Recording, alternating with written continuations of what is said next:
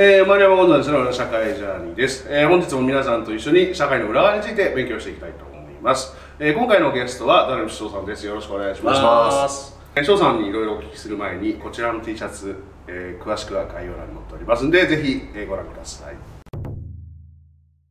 今回なんと羽引きの来ちゃいました。あ、びっくりした。はい。大阪来てます初めてですよね。こっち来るの初めてですね。思ったよりのどかなところ大阪の住宅地ってあんまり来ることなかったから、はいはい。大阪っぽくないというかごちゃごちゃしないですねこれ。奈良県にすごい近いんで、はいはいは今最近これでもかなり栄えた方で、もう10年ぐらい前もっとなんかちょっと田んぼとかしかなかったんですけどいへね。えなんかね住みやすそうな雰囲気ありますね。ああ、もはい。う最高な場所ですね。そんなこの翔さんの地元に遊びに来たんですけど、はい。どうですかそのあの前回出てからあの YouTube ちょうど始められるタイミングだったじゃないですか。そうですね。おかげさまであのロケットダッシュみたいな感じで チャンネル登録してくださる方々も結構一気に増えて今3万人ぐらいまでお登録者数が一応増えて楽しくやらせていただいてますね。いくつか見させていただいているんですけどなかなか面白いですね。周りの人たちが特に。そうなんですよ。翔さんの周りの友達の人たちなんであんな面白いんですか？そう最初に、あの自分らのこう語りみたいな感じでやってたんですけど、いや語りやってもちょっと痛いやつやなってちょっとなんかうん気持ちぶれて、うん。でいつもの地元のノリを地元のメンバーでやったら結構反響があったからやり続けてたんですけどもう本当にだから素のなメンバーたちの素をちょっと出したらこうバスったっていう感じだったんですね。いやもうすごいですよね。前科のある人多い上に。あのフランス外人部隊まで入ってる人いたりとか。あいつ面白くて あいつのフランスちょっと外人部隊の話をしてほしいですね。あの一回紹介したいです。あのほんまにぶっ飛んだやつなんで。まあまあぜひその辺も。はい。で今回は翔さん実は若かりし頃にアメリカのはい。とんでもない学校に通っていたという話をえー聞きたいなと思いまして。はい。どんな学校に行ってたんですか？えーっとね、オーククリークっていう、まあ、あのアリゾナ州にあるすごい山奥にある学校なんですけど、まあ、もう完全に寮生なんですよ。通ってたというよりも寮にそこに行ったら住まなきゃいけないんですけど完全なもう施設ですよね。あの分かりやすくさらに施設を噛み砕くとほぼ刑務所みたいな。もうもうそうですねあの日本のちょっと施設とかとは違った入り口があるんですけどそこからまあまあ、距離で10分かもうほんま下手もうあの時から考えると30分ぐらいの距離を行ってるようなイメージがあるぐらい車で。アリゾナの山奥ってだけでもすごいこうどんなとこかって思うんですけどそもそもなんでそこに行くことになったんですか？少年に入る前にも施設に入っててその時にまあもう真面目にするかみたいな感じで言われて、まあ、早く帰りたいしその時の気持ちに嘘はないんですけど、まあ、真面目にしますって言って帰ってでまたなんかまああの些細なことでうまくいかなかったりとかして昔の友達と遊んで、まあ、親とか周りを裏切る形になって、まあ、少年入ったんですよ。で、まあ、少年出る時に、まあ、嘘もつけないし、まあ、ちょうどまあ兄貴も1年目2年目とかで、まあ、ボーンと行く時やったんでで、まあ、家族とかも結構いろいろ考えてくれてこっちの大阪とかに帰ってもいいことないだろうってことでアメリカの学校に見つけてもらって。その時で何歳えー、自分で17歳の途中らへんですかね若かりし頃のあの少少年は、はい。あのその時はもうあれですか体結構もうでかくなってると。大きな身長もでかかったですね。じゃあアメリカに行くってこと自体に抵抗とかはどうありました意外になかったですかね。あの中で単語の勉強とかもしてたし。じゃあ英語はその時は全然話せず。さ全然話せないです、まあ、要は親とかが資料とか送ってくれるんですよ、でまず少年院っていう不自由な中におる中でいろんなこんな例えばこんなサッカーとかできる、こんなまあ緑の場所だよって見せられると、まあ、ワクワクもあるわけですよね。ああそっかそっか。とりあえずここじゃないどこかに行きたい感情はもうすぐあったそれもやっぱ強かったでしょうね。入学試験とかそういうのは特に。いやなかったですよ。そんなのはとりあえずまあその場所は多分その ADHD とか、うん。その LD、うん。発達障害とかまあ学習障害の子たちが集まる。あそういう施設？そうです。だからいじめられてた子も一部いてどっちかといえばアメリカ全土で大学になってる子らが集まるような場所だったんですね。学校でちょっと居場所がなくなったとか社会的に弱い子たちが行くようなところなんですか？弱い子というか、まあ、失敗した子たちをもう一回受け入れて、はいはいあのもう一回やり直そうっていう場所なんですよ。そうすると日本で少年院まで行ったダルビッシュさん浮かないですか？いやいやもうあのもっと悪いやついっぱいあるんであそっちも来るんですね。もうちょそういうやつらのことも差別なしに受け入れましょうって場所なんで。ちょっと待ってください。それってあの世界中から来るんですか？基本はアメリカなんですか？いや基本アメリカですけど一人メキシコのデニーってやつがいたんですけどそいつはちょっとやばかったですね。そう。そいつはいつもそいつはナンバーワンでしたね。アメリカ中のじゃあ退学したりとかあの、まあ、不良キッズたちが集まってるところに翔さん行ったわけですよね、はいやばくないですか？あのね3か月ごとにスポーツ変わるんですよ、うん。でこの3か月はソフトボール、はい。次の3か月はサッカー。でこう変わって。カリキュラムの中みんなでやるやつ。そうですそうです。でまあ運動は結構できたんで、はいはい。そこでまず認められていったんですよね。こう言葉は通じへんけど他の試合に勝つために賞を出せ賞を出せってなってきてでまずそこで認められていったっていうのはちょっとでかかったんですかね。スポーツで分かるんですけど他何やってるんですか？普通の授業。普通に例えば数学とか、アメリカの何ちゅうの社会っていうんですか、まずでも僕はアメリカの英語分かってないから周りの人にいろいろ教えてもらいながらとりあえずまあもうクラスにいたっていう。生活の全量性ってことはそこでするわけじゃないですか。そうです。いろんなやつ出会っていくわけじゃないですか、はい。どんなやつらがいるかっていうのはその暮らしながら分かっていくじゃないですか、はいはいやばいやつらが結構いるところなわけですよねどんなやばいやつら量量によって違うんで、量その、はい。量せ量がいっぱいあるんですよね、はい。デニーっていうやつの住んでる量が一番悪い量なんですけどそこには10人ぐらいしかいないんですよ、で、まあ、うちはそのパイユっていう、まあ、寮にいたんですけどこっちの方はそこまで悪くなくてまあ柔らかいというかこう分かれてるからそんなにあれですね。建物ごとに分かる。建物に分かれてその分かれ方ももうこっから1キロぐらい先の先にもう1個あるのめちゃくちゃ敷地が広いんで。何して退学になったりして来てるやつが多かったですか？いやもう覚えてないけど。アメリカのイメージだとやっぱり喧嘩したりドラッグなのかなとあそうですそうです。どうしてるんですか？らそのデニーってやつはよくメキシカンギャングだみたいな感じだとお兄さんがすごい悪いグループなんでしょうね。でも聞いてるけど今振り返ったらそんなわけないよなってこともあるんですよ。その頃はもう17歳とかやからもうそのこと例えばあいつは何人殺してるとかって言われたらその時はえすごいなと思ったけど今振り返るといやあの時の話あいつほんまかなとかって思うわけなんで まあ思い出にちょっとこう多少誤差あるんですけど。俺ちょっと人殺したことあるぜぐらいの感じで入ってきてるやつもいたんですいますいます。デニーってやつが住んでたナバホって寮にはもうそういうやつの集まりだったんですね。実際中でそういう,、そういうやつらが来てると喧嘩とかもあるじゃないですか。ありますありますどんな喧嘩になるんですか？アメリカ人との喧嘩。アメリカ人の10代と喧嘩するってなかなかないですから。あのパワーバランスがはっきりしてるんで、そのナバホっていう寮に関してはもうすごいみんな仲いいんですよ。あの翔さんがいたところ僕が後々行くとこなんですけど、あはい。あナバホっていう寮は10人ぐらいしかいないんですけどそこはもう全員もう立ち社会というかもう横がすごいからもうまずほんで他の寮はナバホに逆らわない。もうそう決まってるんですよ。ナバホの一番下のやつでもナバホであったら他のやつはもう言えないんですよ。そのぐらいもう決まってて。なんでそのナバホが一番偉いの？まあもう入った時から悪いやつが多分ナバホが一番集まったからみんなナバホに行きたがってたっていう。寮に入るのはパ試験というかなんかその資格というかなんかあるんですか？ナバホだけちょっと特殊でナバホだけ遠いんですよ。他のパイユとか他のその女子寮とかは結構まあ隣接した場所に。女子寮？もう女子女子もおるんで。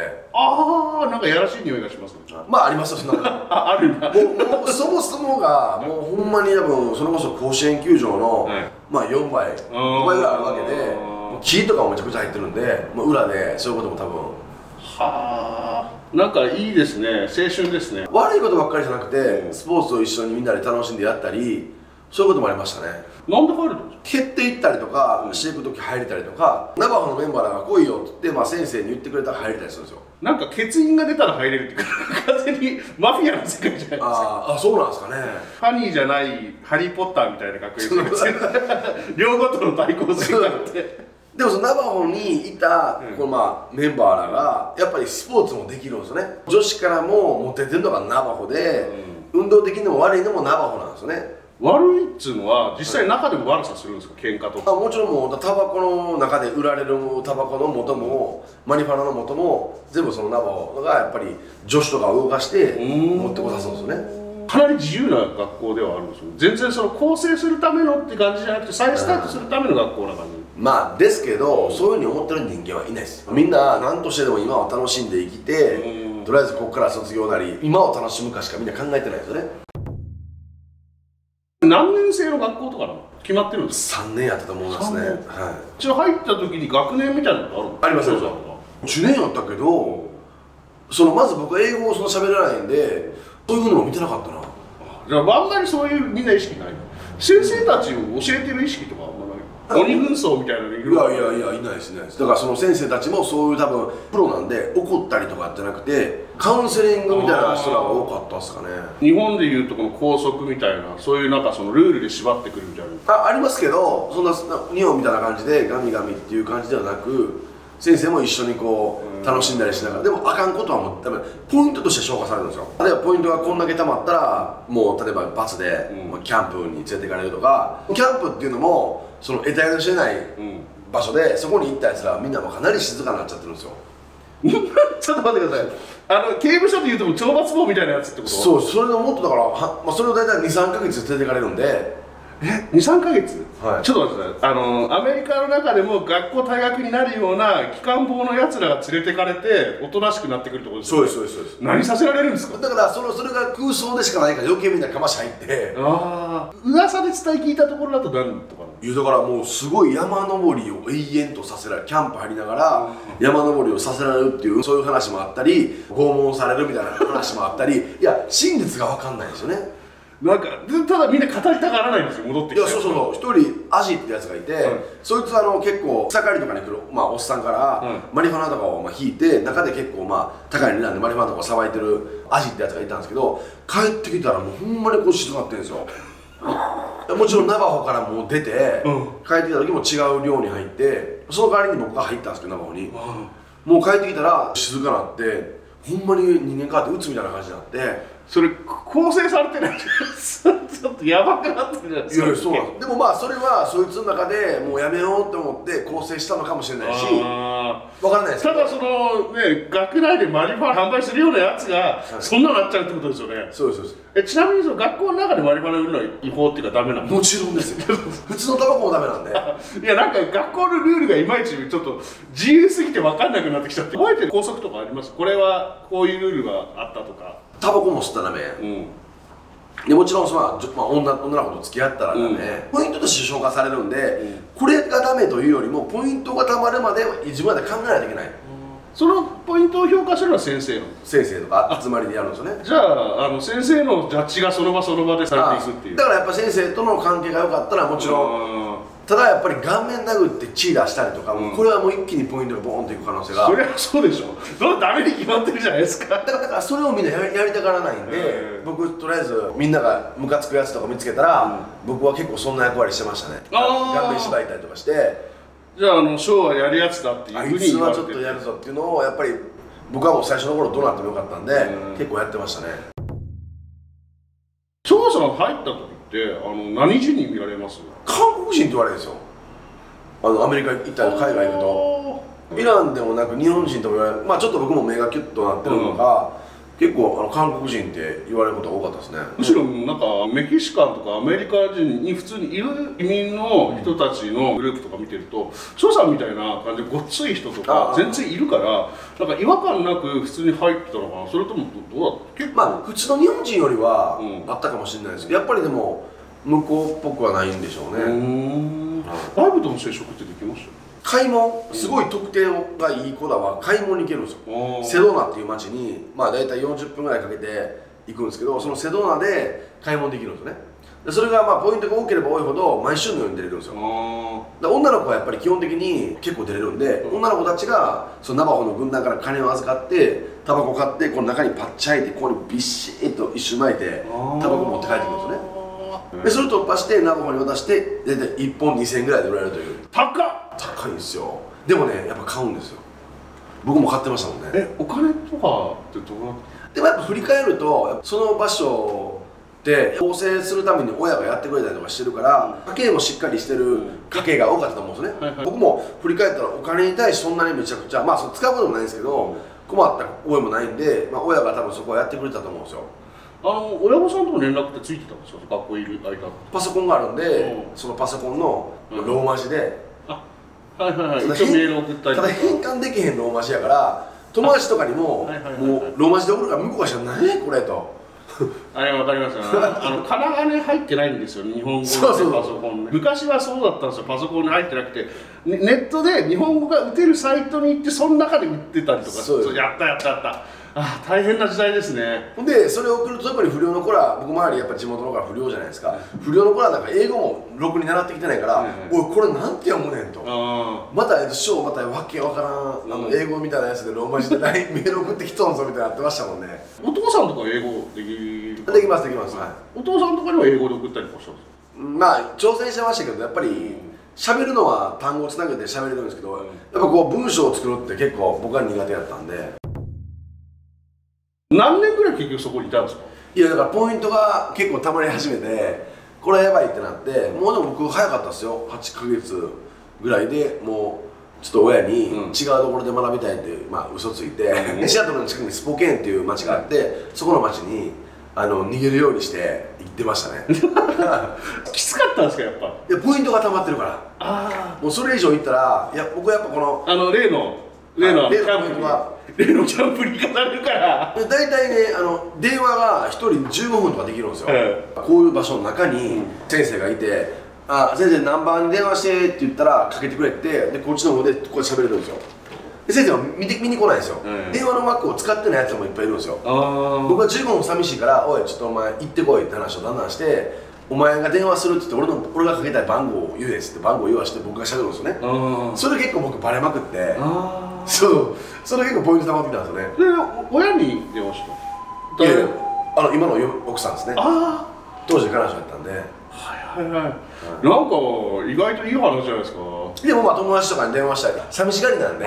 ちなみにその時に、まあ、ちょっと奥さん見てない前提でその逆にこう東日本から来たその運動めちゃくちゃできる喧嘩も強い翔さんにえ女の子からアプローチとかなかったんですか？終わりましたよ。どうしたんですか？いや付き合ってましたよ。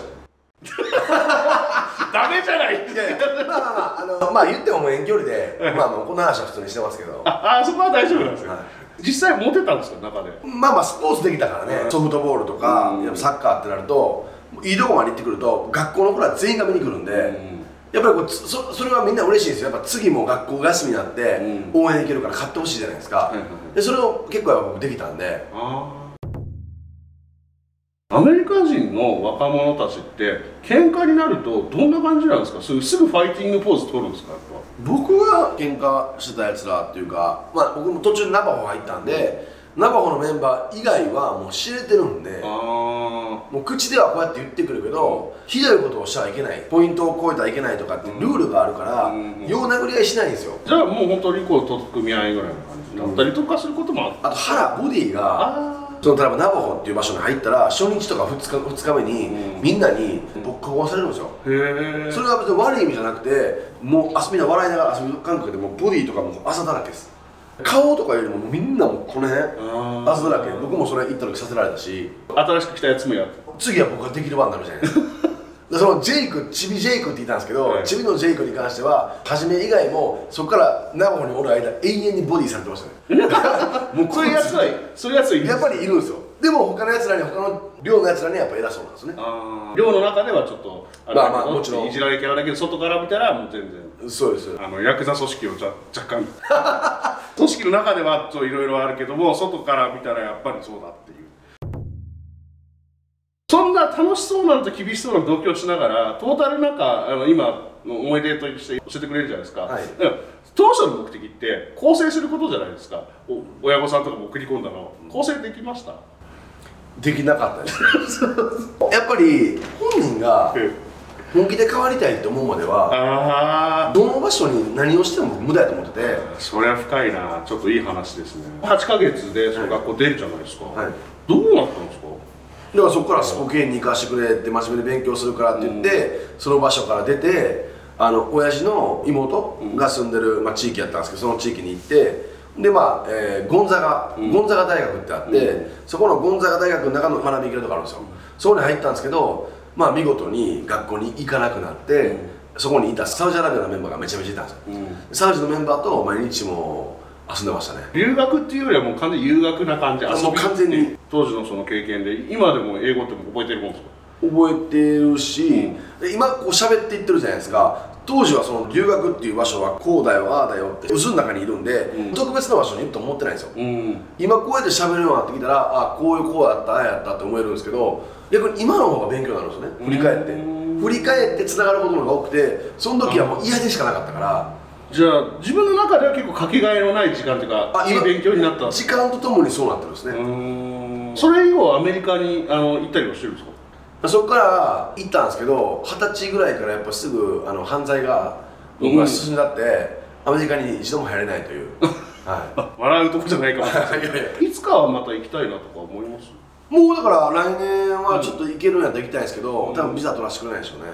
ビザじゃあ申請して通ったらっていう。そうですね構成のつもりであの行ったけど、まあ、ちょっと目的は違ったかもしれないけど自分の人生にとってかけがえのない時間っていう。あもちろんです。もちろん少年院の時も、うん。そのアメリカの時にも構成するってほんまに思ってたんですよ、うん。その気持ちに嘘はないから、うん。だからよく刑務所の中でも絶対変わるってみんな出てくるじゃないですか、でもやっぱり環境変わりだすとあの時の気持ちっていうなくなって、うん。また悪さしてしまうんですよね。でも今はもうきちんとされてるじゃないですか、はいはい。まあ、ちょっと次回その構成ということをテーマに、えーいろいろお話を聞いていきたいと思います、はい。ということでどうもありがとうございました。ありがとうございました。えーこの T シャツ美味しそうでしょ？気になる人はぜひ概要欄チェックしてください。そして翔さんのチャンネルともコラボしてますんでそちらもぜひよろしくお願いします。よろしくお願いします。えーご視聴いただきありがとうございました、えーぜひチャンネル登録とグッドボタンよろしくお願いします。